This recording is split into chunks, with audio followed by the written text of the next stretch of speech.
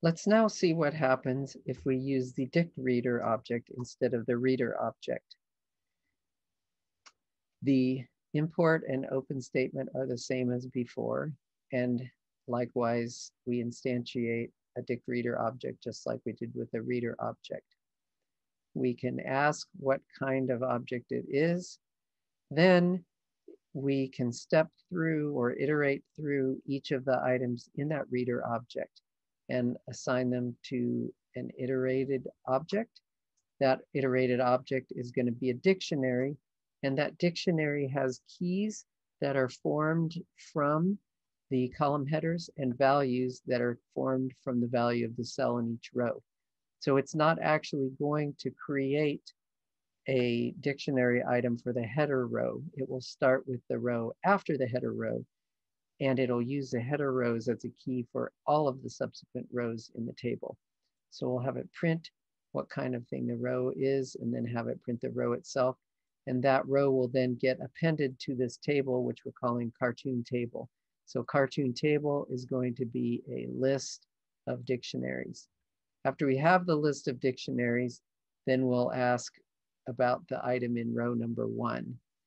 What is that name and who do they work for and who their enemy is? Let's go ahead and run this. So the question of what kind of thing the object is, it is a dict reader object. And then each one of the rows is of a type called ordered dictionary. We have not seen this data type before, an ordered dictionary is very similar to a regular dictionary, except that the items in it are in a particular order. For our purposes, there isn't any important difference between the dictionary that we're used to and an ordered dictionary. We can use them the same way we've been using regular dictionaries and the, the special features that they have because they're ordered, we are not gonna make use of. So here and here we see that there were only two rows of data read in, even though there were three rows in the table. And that's because the first row that got read in was used as the keys for each of the items here. It's not read in as the header row is not read in as a separate thing. Now, when I go through and ask about the uh, second item, which we can see, the second item is this one here about Roadrunner. It says, Roadrunner works for Warner Brothers. Its enemy is Wile Ethelbert Coyote. We can automatically step through each of the rows in a table now using this cartoon table list of dictionaries. And this is a very typical way of using a list of dictionaries. Um, in this case, we're showing what's in each row, but we could also check something against each row as well. So here I can see character name, Mickey Mouse, company Disney, Nemesis Donald Duck, and so on. Again, I only step through two rows because a header row is being used for the keys. I can take uh, this sort of a process and turn it into template code for a CSV reading function that returns a list of dictionaries. This is similar to the function that we created for creating a list of lists. Uh, again, I have to choose how I'm going to specify the path.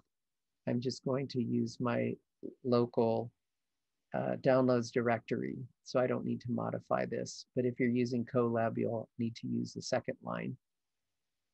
So here we see this similar sort of code as what we had before, opening the file object and then passing it in as we create the dict reader object.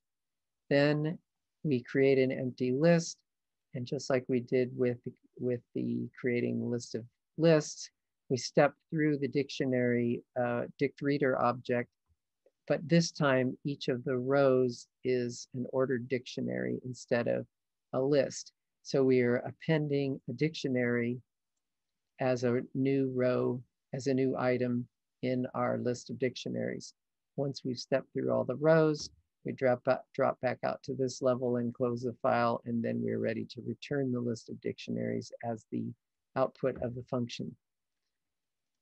In our main script, then, we are going to ask the user to what the character is that they want to know about.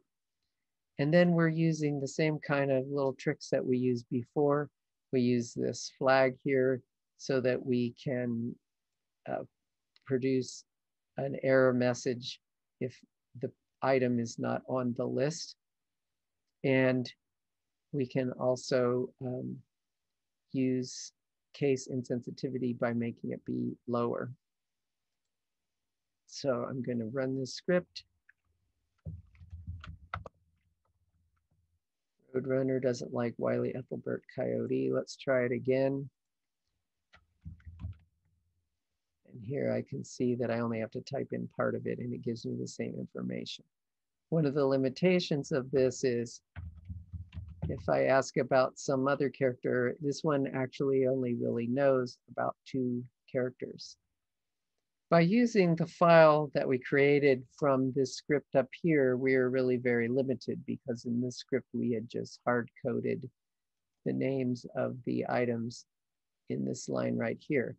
But it turns out that there is actually a CSV data file that I posted that has around 4,000 uh, characters in it.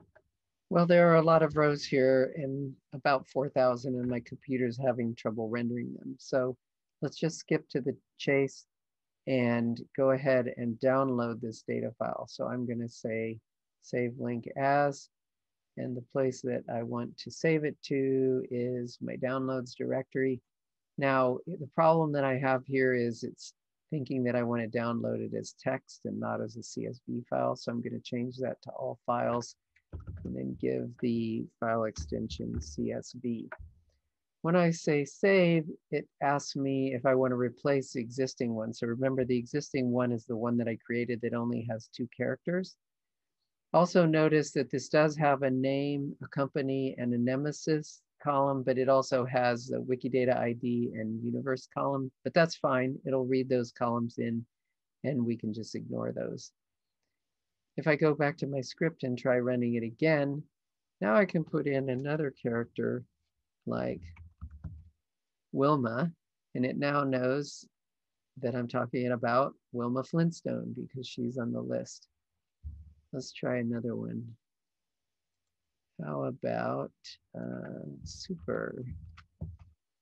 Whoa, doesn't know the uh, nemesis of a whole bunch of different things. So anything that has super in it basically is found. It does know that Lex Luthor is the nemesis of Superman. So this table uh, has a lot of missing information that you could you could add a lot of things in the nemesis column. But by being able to download a file, we are able to have a lot more information than we would probably want to create by ourselves.